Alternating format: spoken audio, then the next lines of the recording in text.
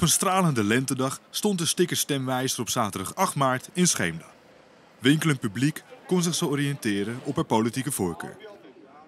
De sticker stemwijzer werkt heel eenvoudig. Je pakt een stickervel met stickers voor de 30 stellingen die je plakt bij eens of oneens.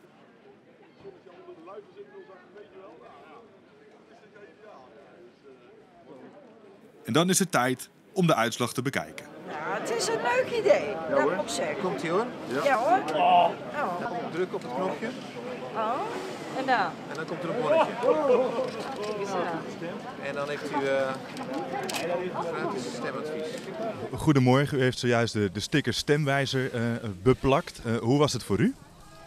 Eh, op zich een hele leuke ervaring. Eh, ik wist niet dat het hier zou komen. We zijn hier voor inkopen.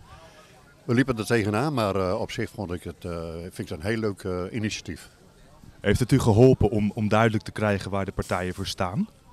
Ja, zeker heel erg. Wilt u de sticker stemwijzer ook proberen? Dat kan op zaterdag 15 maart. Dan staat hij namelijk op de verkiezingsmarkt in het centrum van Winschoten.